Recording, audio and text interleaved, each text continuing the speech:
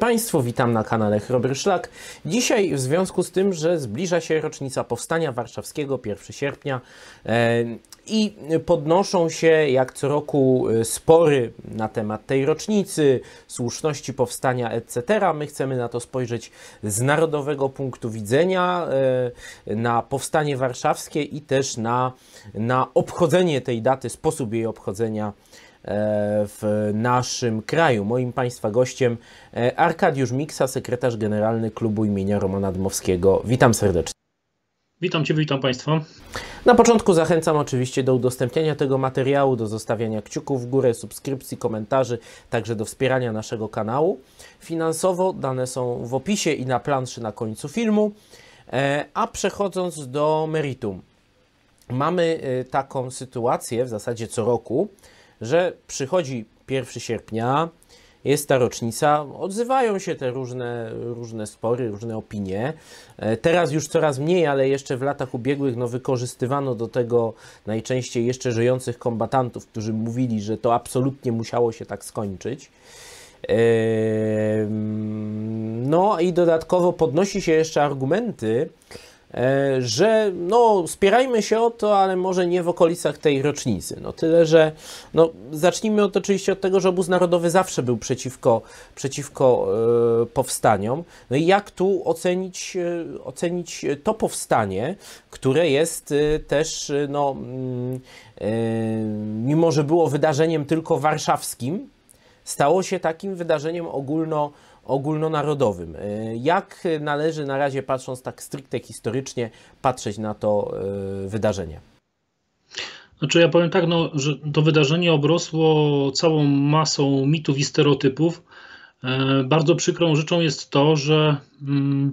mimo upływu czasu no, i te, tego, że jakby te osoby w gruncie rzeczy większość, która brała udział już zmarła i moglibyśmy sobie na to pozwolić, żeby jednak ocenić tę sytuację i wyciągnąć z niej wnioski. Znaczy, bo mnie powiem tak szczerze, z jednej strony, no może to i fajnie, że lepiej, że ta młodzież teraz w Warszawie 1 sierpnia tam wieczorem się gromadzi w centrum Warszawy i śpiewa te piosenki. Lepiej, że je, te teksty zna może niż ich nie zna. E, patrząc z perspektywy na, te, na to wszystko, co się dzieje wokół nas w ogólnym bilansie, można byłoby na to spojrzeć nawet i pozytywnie, tylko to byłoby fajne, gdyby do tego wszystkiego równolegle szedł ten komentarz i ten przekaz mówiący o tym, no właśnie, że oprócz tych fajnych, wesołych piosenek, bo mam wrażenie, że to jest trochę tak jakby urządzić bym powiedział, wesele na pogrzebie, na stypie, bo przecież no nie mówi się o tych konsekwencjach i ja myślę, że przede wszystkim należy mówić tutaj w tym, o faktach. I co ciekawe,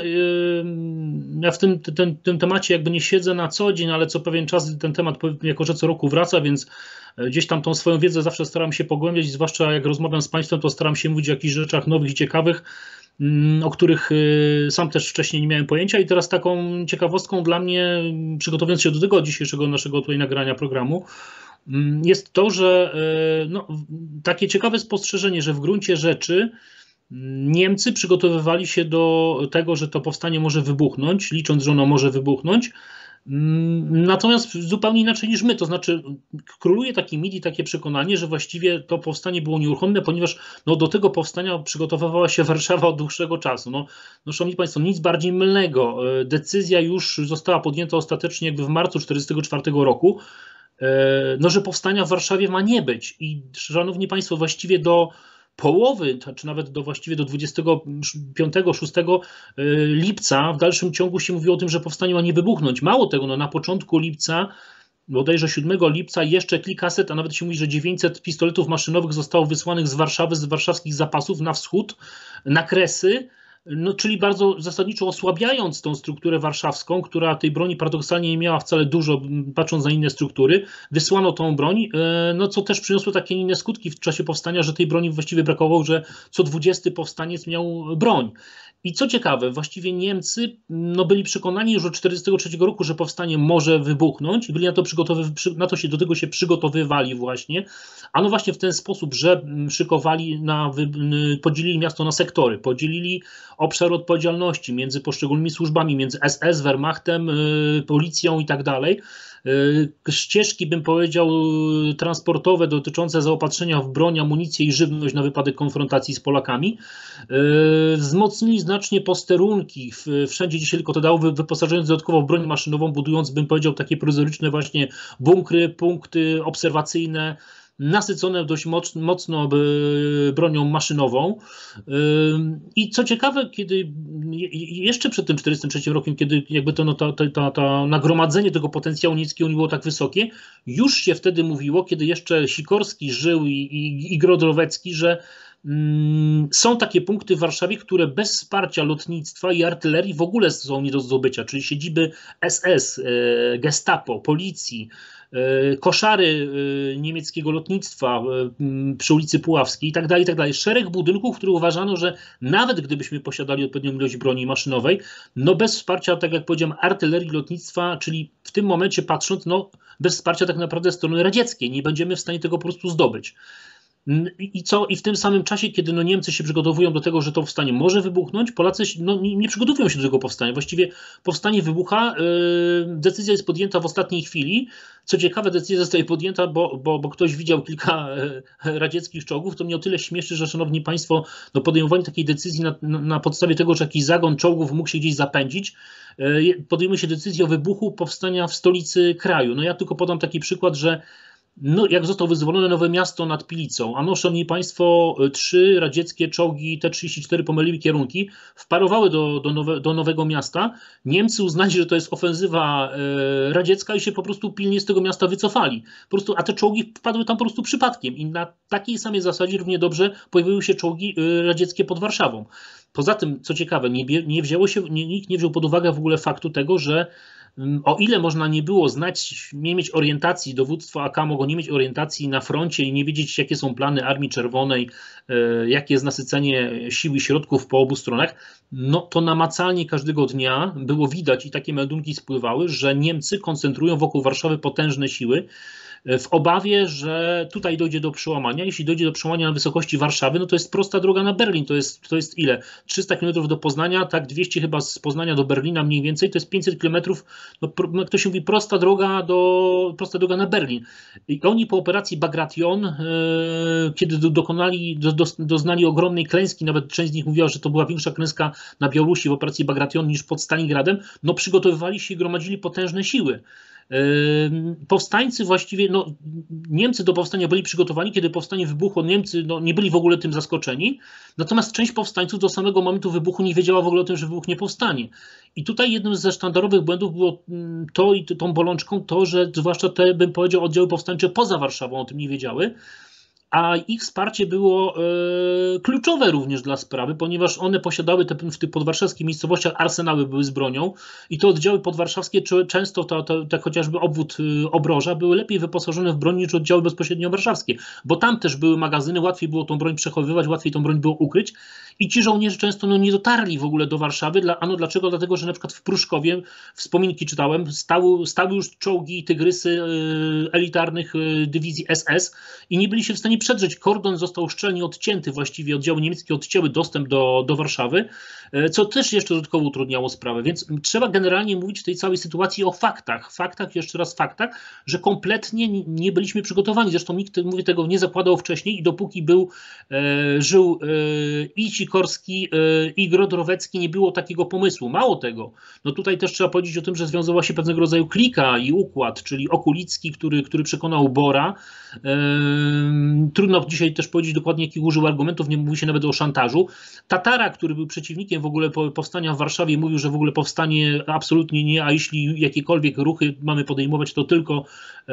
w porozumieniu z Sowietami. Odsunięto i kazano mu wyjechać do Londynu, że tam jest rzekomo potrzebny jako szef sztabu, jako człowiek, który był zorientowany sytuacji, a wylądował tutaj Okulicki, który oczywiście zaczął z Pełczyńskim razem e, obrabiać, mówiąc kolokwialnie, e, Bora Komorowskiego, E, bo on wierzył w święcie w to, że musimy tą daninę krwi złożyć, że ta danina krwi, nawet ta strata i zniszczenie Warszawy i, i, i, i śmierci mieszkańców, to będzie po prostu taki, bym powiedział, głos, który gdzieś tam przemówi do sumień e,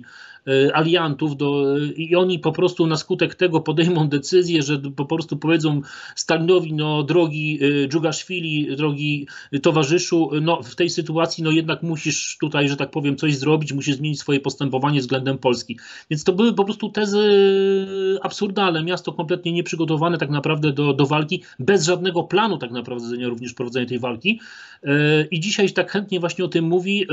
chętnie się pokazuje tych uśmiechniętych powstańców, że wybucha powstanie. Szkoda tylko, że nie pokazuje się i tak rzadko mówi się o komentarzach, jak ci mieszkańcy Warszawy komentowali już po dwóch, trzech tygodniach walk tą sytuację, jak wielu z nich było rozwścieczonych, zdenerwowanych, że bez, bez pytania ich w ogóle o zgodę naraża się kobiety, naraża się dzieci na śmierć i zniszczenie. E,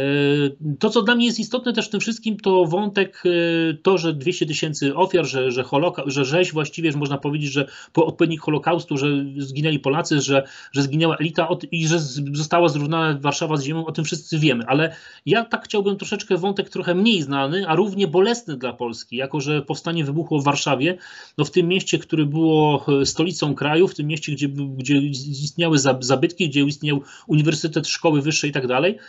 gdzie też istniał ten świat, bym powiedział, artystyczny, naukowy, no te, te straty, o których my tak rzadko mówimy, mianowicie całe popalone biblioteki, zasoby, rękopisy, dokumenty yy, przez wieki składowane, to wszystko spłonęło, to wszystko zostało zniszczone. Mnóstwo mm, książek napisanych, mnóstwo dokumentów twórczości literackiej, poetyckiej, e, zabytków, e, dzieł sztuki, to wszystko zostało no, obrócone w niwecz. Po prostu sami żeśmy się tego po prostu pozbawili. E, więc e, no niestety no, trzeba o tym mówić, e, kto tą decyzję podjął. Mnie też jeszcze boli jeszcze jeden wątek, że dzisiaj po tylu latach próbuje się w tych czynnikach, bym powiedział, postsanacyjnych rozgrywać jeszcze, robić taką rozgrywkę w książkach, żeby od, odpowiedzialność przerzucić na e, Sosnkowskiego, albo nawet mówić, że też Kukiel również, który był jeszcze z Sikorskim związany, że to Kukiel również parł do, do, do, do powstania. I tworzy się sytuacja taka, że te środowiska piłsudczykowskie, które przecież my wiemy z natury zawsze były pro, po, powstańcze, nagle one teraz próbują jakby mówić, że to odpowiedzialność zrzucić na środowiska e, związane z osobą Sikorskiego, i, i tę odpowiedzialność przerzucić na nich, choć e, sami w gruncie rzeczy, gdyby mogli, mieli tak, taką możliwość, gdyby nie byli odsunięci od władzy po 1939 roku, po wybuchu e, e, II wojny światowej, no to oni z pewnością jako pierwsi parliby do wybuchu tego powstania. Więc tu jest kilka, bym powiedział, obszarów, o których należy po prostu mówić. I fajnie, że są te piosenki, tylko że młodzieży należy w lekcjach wyjaśnić. I mało tego uważam, że państwo polskie oficjalnie powinno podjąć śledztwo w celu wyjaśnienia raz na zawsze i y, bym powiedział poddania krytyce te osoby, które do tego doprowadziły, bo prosty przykład, proszę sobie, szanowni państwo, porównać powstanie warszawskie z powstaniem w Pradze i z powstaniem paryskim. E, w których momentach te powstania wybuchały, jakie przyniosły skutki, jakie przyniosły skutki powstanie warszawskie. Ja mówię, mieszkając kiedyś w Pradze, to miałem to przekonanie, że widziałem też tablicę, w Pradze to podkreślam, że podczas powstania praskiego w tym miejscu zginął e, no, jeden powstaniec e, czeski, tak? I, w, i, I teraz na umysł mi przychodziły te tablice, które ciągle się widzi w Warszawie. W tym miejscu zostało rozstrzelonych 40 Polaków podczas powstania, w tym miejscu 200 Polaków podczas powstania. Ta hekatomba, ta danina krwi ogromna, którą niepotrzebnie po prostu przelaliśmy. Więc yy, ja z mieszanymi uczuciami na to patrzę i widzę, że plakatów jest coraz więcej z każdym rokiem w Warszawie, nawołujących mieszkańców Warszawy do udziału, do, bym powiedział, do radosnego świętowania wybuchu Powstania Warszawskiego. To, to jest najbardziej przykre. E, no, do samego świętowania to jeszcze za chwilę przejdziemy, ale, e, ale właśnie tutaj jeszcze dotykając tej warstwy faktograficznej, to tutaj takim mitem, który też jest lansowany, no jest to, że e, powstanie warszawskie, co prawda przegrało, tak, w 1944, ale miało wygrać e, w 1989, bo rzekomo dzięki temu powstaniu albo Polska się nie znalazła, nie została częścią Związku Radzieckiego, albo też nie, e, nie dzięki temu, dzięki temu mitowi powstańczemu Polska odzyskała w 1989 roku e, suwerenność. I takie mity e, są e, no, bardzo szeroko kolportowane i wiele, wielu ludzi w to wierzy, że to było, prawda, nie tylko to moralne zwycięstwo, ale też, no, że to przyniosło skutki, e, skutki po latach. No ja patrząc na chociażby na to, co mówią ludzie, prawda, odwołujący się do idei narodowej, ale zupełnie innego punktu widzenia, na przykład jeśli chodzi o wymianę elit w Polsce po, woje, po wojnie, no to myślę, że powstanie warszawskie wybitnie ułatwiło tą zmianę elit i ułatwiło komunizację Polski po 1945 roku, a nie utrudniło, bo ci ludzie, którzy mogli stawić opór, po prostu tam w tym powstaniu zginęli. Przede wszystkim, na przykład, jak się czyta em, wspomnienia Jana Nowaka Jeziorańskiego, to widać tam, po powstaniu warszawskim, że naród miał już no,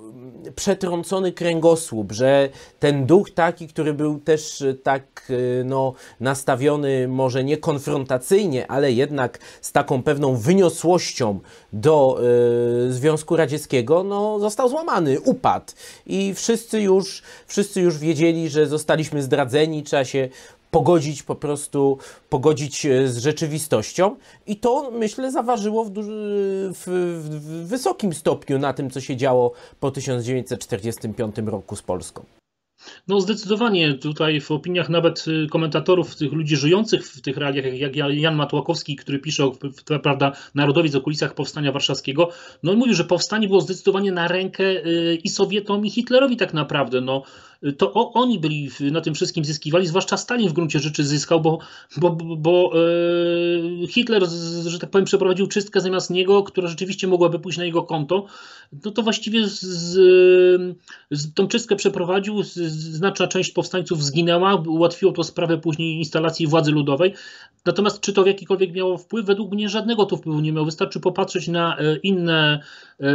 kraje bloku wschodniego, te demoludy, żeby zobaczyć, że Stali postąpiły analogicznie. W tych krajach, w których nie wybuchło powstanie, Stali postąpił względem ich tak dokładnie tak samo względem Polski. W jakikolwiek sposób nie widać jakichkolwiek przesłanek ku temu, żeby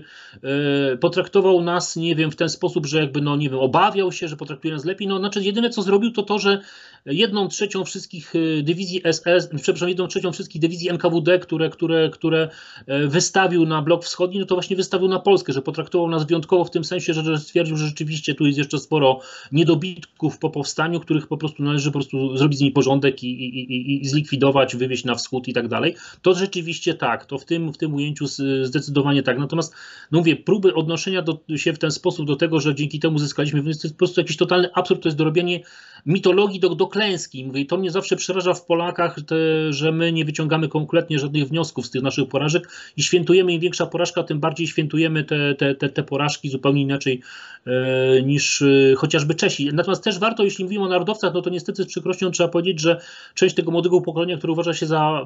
że ma poglądy narodowe, popiera również e, powstanie, co jest absurdem i jeszcze podnosi argumenty, że przecież, ale jak to, no przecież narodowcy walczyli w powstaniu. No narodowcy no włączyli się do, do powstania, kiedy on już wybuchło. No, w wymiarze politycznym natomiast byli przeciwko e, powstaniu. Nawet ci, którzy w tym powstaniu walczyli, to i po wojnie wielokrotnie o tym podkreślali, mówili, że to był błąd, że to była głupota. Kiedy już wybuchło w wymiarze wojskowym, oczywiście wzięli udział w tym powstaniu, ale byli przeciwko wybuchowi tego powstania. Zresztą nie tylko oni. No, weźmy przykład przecież człowieka, który nie był związany z, z entecją generała Nila, który został odsunięty z tego pierwszoplanowego właśnie obszaru dowodzenia AK, dlatego że był właśnie przeciwko właśnie wybuchowi powstania. On twierdził, że jeśli każe mu się budować strukturę taką, bym powiedział, podziemną, polityczną na wypadek wejścia Sowietów, jednocześnie każe się y, doprowadzić do wybuchu powstania, to generalnie powstanie przekreśla, że struktury te wszystkie zostaną zniszczone, rozbite i że nie będą w ogóle gotowe i przygotowane do tego, żeby później w jakikolwiek sposób móc tworzyć, bym powiedział, właśnie struktury organizacji podziemnych, które miały jakby czekać na, na wybuch III wojny światowej, na, na tą konfrontację między wschodem a zachodem. I dlatego Nil został odsunięty również, dlatego że był również przeciwnikiem właśnie wybuchu powstania warszawskiego. No, przypominam i mówię to tym wszystkim, którzy no, Nila sobie cenią e, i doceniają jego zasługi i tak dalej, to wszystko to robił, no to przypominam i mówię, że był przeciwnikiem e, wybuchu powstania e, warszawskiego, podobnie zresztą jak wielu innych dowódców. No mówię, no, no większość w ogóle kierownictwa i też i londyńskiego była przeciwko temu wybuchowi, wiedząc, że to już nie ma kompletnie żadnego sensu. A Stalin jednoznacznie powiedział już w 1943 roku, że nie będzie tolerował jakichkolwiek, bym powiedział, akcji podejmowanych bez konsultacji i Brytyjczycy również sugerowali Polakom, że jeśli podejmują jakiekolwiek akcje i powstanie na zapleczu frontów, yy, bym powiedział, wschodniego, no to muszą to zrobić w porozumieniu z Sowietami, jeśli ma to mieć w ogóle jakikolwiek wymiar i sens yy, i jeśli ma być to w ogóle dobrze potraktowane i właściwie. Więc, więc to, to, to po prostu totalna, totalna głupota i, i porażka wielopłaszczyznowa. No, ogromne straty ludzkie, straty ludności cywilnej, której nikt nie pytał o to, o zgodę, czy powstanie ma wybuchnąć, czy nie. No, grupa zapaleńców, bym powiedział, takich e, typowych właśnie jak coś ala Piłsudski właśnie e, postanowiła po prostu e, no, doprowadzić do konfrontacji, wierząc jakoś tam, w jakiś tam mit, że to, że ten, że ta, by, by powiedział to, to ta, ta danina krwi cokolwiek zmieni, cokolwiek przyniesie, kiedy Londyn już dokładnie wiedział, rząd londyński wiedział, jak, jak wygląda sytuacja i ci, którzy bardziej zorientowani kraju również wiedzieli, że nie ma to niczego sensu, że przy tak jeszcze, to co warto powiedzieć, że Polacy zdawali sobie z tego sprawę, jak gigantyczną daninę krwi podczas tej wojny ponieśliśmy. Ilu zginęło Polaków pod zaborem, pod, pod okupacją sowiecką, pod okupacją niemiecką, to, to szło w miliony, więc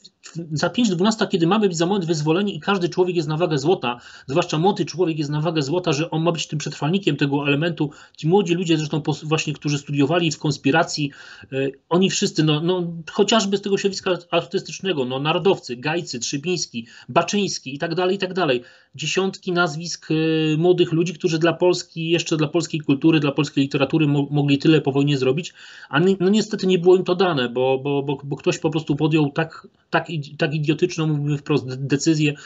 o wybuchu powstania, które było po prostu masakrą, które nie miało sensu i było no, największą beznadziejną bitwą w ogóle w wykonaniu Polaków podczas wojny światowej. Tak? No, na, na zapleczu bym powiedział dwóch naszych wrogów daliśmy się właściwie sami ograć i wykrwawić. To jest, to jest przerażające. No to może przejdźmy jeszcze do kwestii tego, czy obchodzić i jak obchodzić, bo to jest ten 1 sierpnia, bo to jest jakby kolejna kwestia też, która się na przykład 1 marca powtarza trochę w innej, w innej konwencji, chociaż nie do końca, trochę w innym składzie osobowym, ale podobne kontrowersje, obchodzić, nie obchodzić, jak obchodzić. Bo jako mieszkaniec, że tak powiem, Warszawy, no jeśli wyją syrenę o tej godzinie 17, oczywiście zatrzymuję się, oddaję cześć i szacunek. I jeśli zatrzymuję się, nieraz przechodzę w tych miejscach, w których, zwłaszcza gdzie, gdzie walczyli narodowcy, no ale nie tylko narodowcy, tak, w Warszawie, no zawsze z, z, tą, z tą refleksją w tych miejscach gdzieś przechodzę i myślę o, o tym, co się w tych miejscach wydarzyło, związanych z powstaniem warszawskim. I oczywiście odmówić na pewno nie możemy sobie, jako, jako narodowi, ówczesnemu narodowi, na pewno ofiarności, na pewno odwagi. Tego sobie odmówić nie możemy i tym ludziom na pewno odmówić nie możemy. Natomiast no, nie zmienia to faktu, że no właśnie świętować w jakiś sposób, no właśnie w taki, że oczywiście składać kwiaty, wiązanki kwiatów pod, pod pomnikami upamiętniającymi tych powstańców, natomiast no co roku przypominać o tym, przypominać o tym również w podręcznikach i przypominać o tym, że, no, że to był błąd, że należy tych ludzi rozliczyć, wyciągnąć z tego konsekwencje na przyszłość, bo jeśli będziemy tylko robić to w taki sposób, że składamy kwiaty, no to budujemy znowu, mam wrażenie, budujemy niestety wokół powstania yy, taki kolejny właśnie, by powiedział, mit, yy, stereotyp yy, czegoś właśnie w duchu utrzymanego właśnie takiego właśnie, takiej jakiejś legendy, nie wiem, romantycznej legendy, że tak należało po prostu postąpić, że tak należało zrobić. No właśnie nie, no, no właśnie trzeba podchodzić do wszystkiego racjonalnie, myśleć o tym wszystkim, co się robi, wyciągać wnioski na przyszłość, bo inaczej wyhodujemy sobie kolejne y, pokolenia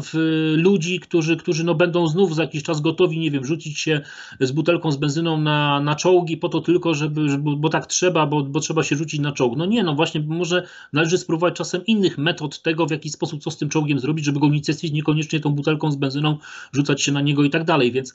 ja mówię, ja z szacunkiem się odnoszę jak najbardziej do, do, do, do, do powstańców, do powstania. Yy, szanuję to, tą, tą godzinę W, kiedy, kiedy w Warszawie wyją te syreny, jak i teraz i też w innych miastach Polski, ale w parze to mówię, to wszystko musi iść z, z dyskusją poważną, naukową debatą, a być, być może również powołaniem komisji w ogóle państwowej, która rzeczywiście zajmie się wyjaśnieniem tych okoliczności i w, w ukarania, znaczy ukarania, winni już nie żyją, ale symbolicznego ukarania winnych w sensie powiedzenia wprost, że kto za tym stał, że, że była grupa, klika się stworzyła, ten tak zwany centralny ośrodek kierowniczy, który się wytworzył właściwie wbrew nawet opinii stanowiska Londynu w kraju, tutaj właśnie kilku e, panów e, na styku właśnie i, wojsk, i, i, i wojska i również e, polityki postanowiło na własną rękę zorganizować powstanie warszawskie, co najciekawsze oni byli świadomi, znaczy może nie byli świadomi, że aż tak, y, tak gigantyczne wywoła to straty i ludzkie i, i, materialne, ale i tak byli przekonani, że to, że to będzie ogromna danina krwi, więc oni to zrobili po prostu w pełni świadomi, uważając, że tak po prostu trzeba. Tak naprawdę mówię, no nie konsultując tego, robiąc to i wbrew w ogóle rządowi londyńskiemu y, i wbrew większości opinii y, publicznej w kraju. E, no tak, e, natomiast e, no tu chociażby, chociażby teraz miałem dosłownie, dosłownie tuż przed tym jak rozmawialiśmy, zaczęliśmy rozmawiać taki, taki jakby dialog, taką wymianę wiadomości, ponieważ ja tutaj jeszcze będąc wtedy działaczem Młodzieży Wszechpolskiej zainicjowałem taką akcję na 1 sierpnia, jak przejście po prostu ze zniczami, z kwiatami po grobach powstańców pochowanych w Zgierzu, a e, jak się okazało, e, jest ich co najmniej kilkunastu. I to uważam jest, jest jak najbardziej, jak najbardziej odpowiednie miejsce, no bo gdzie czcić powiedzmy wydarzenie, gdzie poległo czy zginęło kilkaset tysięcy ludzi, jak nie na cmentarzu. Natomiast kiedy patrzę na e, przemarsze ulicami Warszawy, no to zaczynam być trochę sceptyczny. Natomiast no, bierze mnie obrzydzenie wręcz, kiedy widzę radosne koncerty, radosnych w większości właśnie piosenek powstańczych, no bo rzeczywiście pierwsze tygodnie powstania e, były dla jeszcze części, e, większej części ludności takim czasem nadziei. Natomiast no, e, wiedząc już z perspektywy tych dziewięciu tygodni, znając ich bilans, no to organizowanie takich wydarzeń no jest czymś po prostu skandalicznym. No dokładnie tak, mam takie samo zdanie i obserwuję to z, z, z, niepokojem, że to się w Warszawie nasila. Widzę tych, coraz więcej tych plakatów i coraz więcej tych akcji właśnie śpiewania piosenek, wciągania to młodych ludzi, pokazywania, że to w ogóle fajnie było, w ogóle ludzie sobie tam siedzieli, śpiewali, no tam gdzieś tam od czasu do czasu jakiś pocisk w ogóle wybuchł, coś tam się działo, ktoś był ranny, ale sanitariuszka, prawda, romantycznie tutaj żołnierze opatrzyła, no i jak to się mówi, jakoś to generalnie będzie, jakoś to będzie, jakoś się dzieje i generalnie w tym, w tym duchu tak właśnie jest to pokazywane, niestety, mówię, no niestety z przykrością, bo nie idzie to w parze z dyskusją, e, bym powiedział, w środowiskach akademickich, nie idzie to w, w parze, z, mówię, z ogólną polityką państwa, która by no, w jakikolwiek sposób wskazywała na to, że wyciągnęła z tego powstania wnioski i że mówi się również o tych, o tych błędach, tak? O tych błędach, że nie uczy się ludzi młodych e, myślenia racjonalnego, tylko myślenia romantycznego, że po prostu trzeba się rzucać i, i, i, i takie też mam właśnie wrażenie w, takiego właśnie nauczania, że, że, że bez, bez, bezrefleksyjnego w ogóle. I stąd być może to różnica między nami właśnie a Czechami w tym, w tym podejściu, że czeskie powstanie właściwie wybucha w momencie, kiedy kończy się II wojna światowa, tak, i, i przynosi taki, a nie inny skutek. E, Czesi no, uratowali Pragę, dzisiaj czerpią z tego gigantyczne profity, bo e, tysiące turystów, setki, właściwie dziesiątki tysięcy każdego roku turystów e, odwiedza to miasto i do skarbu państwa czeskiego wpływają z tego gigantyczne kwoty wiedzieli, kiedy ma wybuchnąć powstanie. Podobnie, podobna rzecz się działa w, w Paryżu, natomiast no my jakby no e, zamiast rzeczywiście w momencie, kiedy już ci Niemcy się z tej Warszawy wycofują, zaatakować ich tyły, to my zaatakowaliśmy właściwie w w samym kotle, bym powiedział, bo Warszawa właściwie była otoczona przez niemieckie dywizje, zwłaszcza tutaj na odcinku północno-wschodnim, właściwie ze wszystkich stron, a Sowieci y, było wiadome, że każda ich operacja taka trwa zazwyczaj dwa miesiące, ta trwała miesiąc, ale rzeczywiście jest tak, że nie możemy też tylko tak mówić, tak jak dzisiaj to próbujemy, że to wina Stalina, bo Stalin wstrzymał wojska. Rzeczywiście jest też tak, że te wojska były wyczerpane, że i, i o tym też wspominają nawet sami strona polska, że, że kończyła im się amunicja, że kończyło im się paliwo i, i rzeczywiście to nie jest tak, że, że można powiedzieć, że Stalin, oczywiście on później z tego czerpał profity, bo się zorientował, że właściwie jest mu to na rękę. Natomiast mówienie też tylko o tym w ten sposób, że Stalin to wszystko celowo wstrzymał po to tylko, żeby powstanie stłamsić, jest rzeczą absurdalną. No rzeczywiście nikt nie przemyślał, że ono powinno wybuchnąć w momencie, kiedy Sowieci zaczynają wypierać, powiedzmy, przeszli na e, lewobrzeżną stronę Warszawy i zaczynają chociażby, nie wiem, ze śródmieścia już są Niemcy wyparci, dziś są na obrzeżach, nie wiem, na, na Woli, na ochocie i wtedy przystępujemy do akcji. Nie, no nikt na, na to nie poczekał, po prostu wszystko zostało zrobione na, na, na, no, jak to się mówi, na łapu jak to u nas w naszej tradycji, po prostu no, do samego końca, nie, nie mając że tak naprawdę żadnego planu, w jaki sposób ma to powstanie wyglądać. Mało tego, no przecież też y, Okulicki nie miał żadnego planu, co po powstaniu w ogóle, ani w, w, w wypadku tak naprawdę takim, jeśli ono będzie zwycięskie, ani w wypadku takim, kiedy będzie porażką i przegraną. Nie było żadnego planu. No, no ktoś, kto myśli strategicznie, planuje swoje konsekwencje, planuje, znaczy planuje, planuje e, przepraszam, planuje, e, bym powiedział, zachowania na skutek swoich konsekwencji, tego, co, co, co przyniesie rzeczywistość i co należy później po tym fakcie, po tych decyzjach, jakie się podjął, co należy później po prostu zrobić, jakie, jakie ma się plany, jaki będzie kolejny krok, w jaki sposób się e, zachowamy. Więc to rzeczywiście, no mówię, to gigantyczny dramat, gigantyczna tragedia i z niepokojem obserwuję właśnie kierunek kierowania właściwie, ukierunkowywania młodzieży właśnie na to radosne świętowanie, śpiewanie piosenek, jednej z największych katastrof. No ale to właśnie to, co mówił Dymowski, że Polacy mają taką tendencję, prawda, że do, do świętowania swoich największych porażek, natomiast o sukcesach zapom zapominają albo nie świętują ich we właściwy sposób. E, wszystko u nas, że tak powiem, jest powywracane do góry nogami i od czasów Dymowskiego, który tyle na ten temat mówił, no nic się nie zmieniło, dalej w tym samym kierunku brniemy. No to jeszcze na koniec, ponieważ widać to coraz bardziej, że jeszcze kilkanaście lat temu nawet no to e, powstanie warszawskie, rocznica powstania warszawskiego była najczęściej mimo wszystko wydarzeniem, e, wydarzeniem lokalnym, warszawskim typowo. Tak naprawdę dopiero chyba powstanie Muzeum Powstania Warszawskiego i działalność Lecha Kaczyńskiego spowodowała zmianę tego faktu. I również wiele organizacji narodowych jakby się w to potem zaczęło włączać, bo to, to było nośne, można było się pokazać, wypromować. Natomiast czy nie, nie jest tak, że oczywiście tam, gdzie powiedzmy już to było robione, ok, róbmy to dalej, tak właśnie, e, tak właśnie, chociażby właśnie te akcenty, akcenty lokalne, bo walczyli w tym powstaniu ludzie gdzieś tam e, z całej Polski, których losy wojenne przygnały do stolicy. Natomiast mimo wszystko, czy nie należałoby jednak z powrotem próbować to przynajmniej zredukować do wydarzenia takiego stricte warszawskiego, e, bo no jest, to, jest to mimo wszystko e, e, straszna klęska, a jeżeli wydarzenie lokalne mogło się stać tak dobrze wydarzeniem ogólnopolskim, tak popularnym, no to w to miejsce na przykład wypromować, dajmy na to,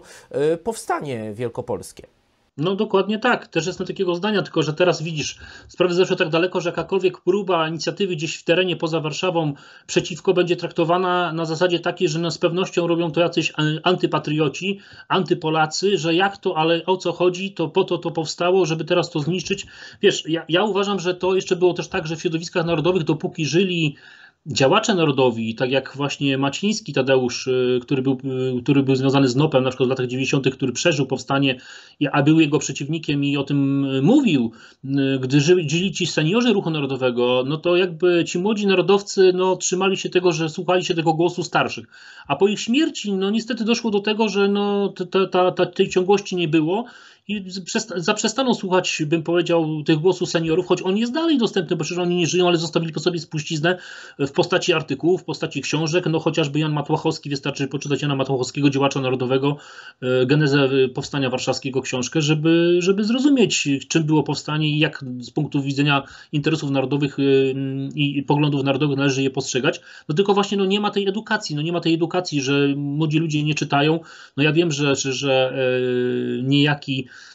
pan Jabłonowski sugeruje, że, że, że ruch narodowy ma się teraz opierać nie na, nie na czytaniu, tylko na, na działaniu, no ale właśnie według mnie no, to są skutki tego braku właśnie czytania, braku wiedzy i dlatego ta młodzież narodowa pcha się, bo uważa, że to jest jakiś mm, jeszcze jeden element patriotyczny i że każdy szanujący się narodowiec no, po prostu powinien brać udział w tego typu przedsięwzięciach. No właśnie nie, no powinien stanowczo y, być, być przeciwny i powinien właśnie nagłaśniać nie wiem, organizować prelekcje w swoich miastach właśnie poza Warszawą i mówić o tym, czym było powstanie warszawskie, jaką było klęską i katastrofą dla państwa polskiego. No, oczywiście wspominając y, z szacunkiem oczywiście, bo, bo, bo, bo mówię, tego nie możemy tym ludziom odebrać i, i o tym też należy pamiętać. Mówię tym bardziej, że też i ruch narodowy ogromną daninę krwi poniósł podczas tego powstania.